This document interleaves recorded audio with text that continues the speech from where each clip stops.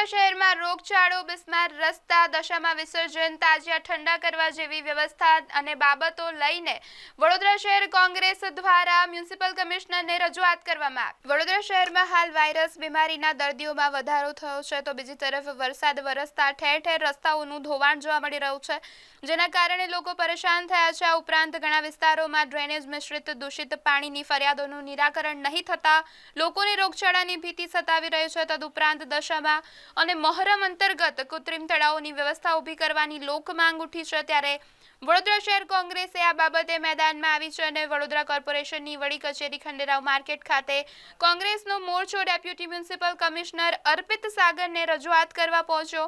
જ્યાં ગંદા પાણીના કારણે રોગચાળો વકર્યો હોય તથા રોડ રસ્તાની બિસ્માર હાલત અને ગંદકીથી પ્રજા ત્રસ્તના આક્ષેપ સાથે દશામાની મૂર્તિ અને તાજા વિસર્જન માટે જરૂરી વ્યવસ્થા કરવાની માંગ કરી. અત્રે ઉલ્લેખનીય છે કે તાજેતરમાં વડોદરા કોર્પોરેશન દ્વારા રોગચાળા માટે પાણીપુરીની વેચાણ સામે ચેકિંગ હાથ ધરવામાં આવ્યું છે. ત્યારે કોર્પોરેશન દ્વારા વિતરણ કરાતા દૂષિત પાણી અંગે કોંગ્રેસે નારાજગી દર્શાવી છે. આમ હાલાકી ગુણવત્તી રોડ રસ્તાનું ધોવાણ ભ્રષ્ટાચારના કારણે થયું હોવાના આક્ષેપ સાથે ઉગ્ર રજૂઆત કરી. પાણી આપો પાણી આપો. પાણી આપો. દૂર કરો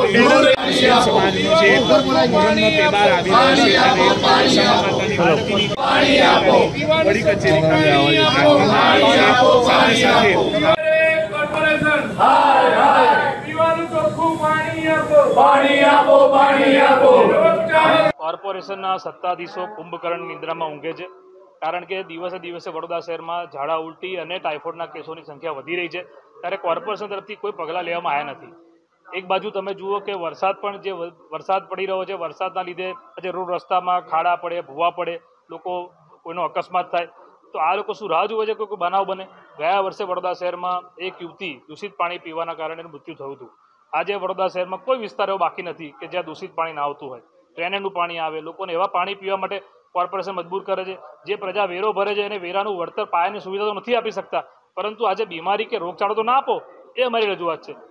સાથે સાથે આજે ધાર્મિક તહેવાર, વડોદરા શહેર સંસ્કારી નગરી છે. ધાર્મિક તહેવારો આપણે ત્યાં આજે દશામાની પ્રતિષ્ઠા બધાના ઘરે ઘરે થઈ છે. મુસ્લિમ મિત્રોનો પણ મહોરમનો તહેવાર છે. આવનારા દિવસોમાં દશામાની મૂર્તિનું વિસર્જન ક્યાં કરવું? તાજિયાનું વિસર્જન ક્યાં કરવું? કારણ કે જે તળાવોના નામે બ્યુટિફિકેશન નામે કરોડ રૂપિયાનો ખર્ચો કર્યો છે, એમાં તો ભ્રષ્ટાચાર થયો છે. તમે જુઓ સરસિયા તળાવની હાલત, કે પાણી ગેટ બાજુ જે તળાવ છે, અથવા વડોદરા શહેરના કોઈ પણ તળાવમાં તમે જઈને જુઓ, માત્ર ને માત્ર કરોડો રૂપિયાના ટેન્ડર કરાવવાના, વધારે ભાવમાં ટેન્ડર મંજૂર કરાવવાના પણ કામ તો થતા જ નથી. આરોગ્ય વિભાગ જે કોર્પોરેશનનું એવું કહે છે કે ભાઈ સબકું સલામત હે. જો સબકું સલામત હે, તો સરકારી દવાખાના કે ખાનગી દવાખાનાઓમાં કેમ આટલા ઝાડાઉટીના કેસો વધી રહ્યા છે? કેમ ટાઇફોઇડના કેસો વધી રહ્યા છે? આ બધું જોવાની જવાબદારી તંત્રની છે. એને અમે રજૂઆત કરી છે કે આની સામે ત્વરિત એક્શન લેવામાં આવે. વિવિધ સમસ્યા તો નથી, પણ આરોગ્યની સમસ્યા ચોક્કસ છે. એક જરાક અમથી વરસાદ પડે તો બધે ઠેકાણે પાણી પાણી દેખાવા લાગે છે. ચારે ઝોનની અંદર ગંદુ પાણી આવે છે, એની ફરિયાદો વારંવાર આપના થ્રુ, અખબારો થ્રુ લોકોને ખબર પડતી રહે છે. એવી કેવી કોર્પોરેશન કે વર્ષો સુધી લોકોનું ગંદુ પાણી આવતું હોય એને શુદ્ધ ના કરી શકે.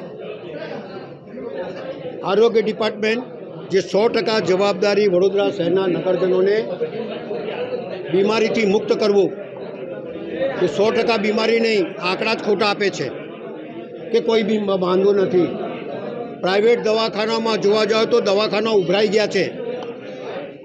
કોંગ્રેસના શાસનમાં ઘરે ઘરે ડૉક્ટરો જતા હતા, નર્સો જતી હતી, ભાઈઓ જતી હતી, ગોળીઓ આપતી હતી, ટાંકીઓમાં ગોળી નાખતી હતી, કોલ- ક્લોરીનની દવા ઘરમાં છાંટતા હતા. એ તમામ બંધ થઈ ગયું છે. ચારસો કિલોમીટરની વરસાદી ગટરની અંદર બારે માસ વરસાદનું પાણી ડ્રેનેજનું પાણી વહે છે. એની અંદર મચ્છરની ઉત્પત્તિને ઉપદ્રવ બંને થાય છે.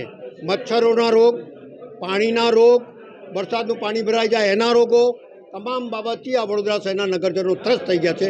ત્યારે આ ઊંચા તંત્રને જગાડવા માટે કોર્પોરેશનમાં એક આવેદન પાત્ર પત્ર રૂપે ભાગરૂપે કોંગ્રેસ પાર્ટી અહીંયા આવી છે કે આ તંત્ર જાગે અને જે રીતે તમે એર કન્ડિશનમાં બેસીને લોકોને હથેલીમાં ચાંદ દેખાડો છો એ બંધ કરો. લોકોના ઘરે ઘરે જાઓ, દવાઓ છાંટો, એમને ગોળીઓ આપે. કારણ કે કોર્પોરેશનના દવાખાના ઉપર આ વડોદરા શહેરના નગરજનો વિશ્વાસ તૂટી ગયો છે. એટલે ગરીબથી ગરીબ માણસ બી પ્રાઇવેટ દવાખાનામાં જાય છે. એટલે પ્રાઇવેટ દવાખાના ઉભરાઈ રહ્યા છે, એને જોવાની તસ્તી લેતા નથી. એટલે તંત્રને જગાડવાયા છે કે પ્રાઇવેટ દવાખાનામાં જઈને જુઓ કે કેટલા નાગરિકો માંદા છે. એ તમામની જવાબદારી, સો જવાબદારી એક્ટમાં છે. કે કોર્પોરેશનની છે અને એ અદા કરે એટલા માટે અમે લોકો અહીંયા આવેદન કરતા વાત કરતા વિવિધ તળાવોના બ્યુટિફિકેશન બાકી છે. હજુ બ્યુટિફિકેશન બાકી છે અને ફુવારા લગાવવાની શરૂઆત કરવામાં આવી છે. શું કહેશો? બ્યુટિફિકેશનના નામે શું થયું છે તો આખા વડોદરા શહેરને ખબર છે. અને બ્યુટિફિકેશન થઈ ગયા પછી આ વડોદરા શહેરના સર સયાજીરાવ ગાયકવાડે આ તળાવ બનાવેલા. એ તળાવ બી ઓછા થઈ ગયા છે. એ તળાવ ધાર્મિક તહેવારોની વિસર્જન માટે ધર્મને કોઈ ઠેસ ના પહોંચે એ માટેના આ તળાવો હતા, એ ડૂબાડવાના બંધ કરી દીધું છે. એટલે હવે કૃત્રિમ તળાવો પેદા કરે છે. અને કૃત્રિમ તળાવો બી ક્યાં પેદા કરે છે? જ્યાં સોસાયટી છે. અને પછી કૃત્રિમ તળાવ- તળાવમાં વિસર્જન થયા પછી જે ભગવાનની હાલત થાય છે, એ તમે જોઈ શકો છો. તમે લોકોએ બધા ફોટા પાડીને મોકલ્યા છે નગરજનો પાસે. એટલે ભગવાનનું બી અપમાન કરતાં ચૂકતા નથી. ખરેખર તો કૃત્રિમ તળાવમાં વિસર્જન કર્યા પછી ચાર પાંચ દિવસ પછી પાણી ખાલી કરી એ બધા ભગવાનોને ઉઠાવી અને મહીસાગરમાં પધરાવવો જોઈએ, ચાંદોદમાં પધરાવવું જોઈએ, જેથી લોકોને આસ્થાને ઠેસ ના પહોંચે. આ તમામ બાબતો લોકોને સ્પર્શી જાય, લોકોના ધર્મને સ્પર્શી જાય એવી બાબતો છે જેની માવજત, જેની કાળજી આ કોર્પોરેશન કરતી નથી. એ દુઃખની બાબત છે, પણ કોંગ્રેસ પાર્ટી આવેદનપત્રના ભાગરૂપે આ ઊંઘેલા તંત્રને જગાડવા માટે આવેદનપત્ર અપાયા છે.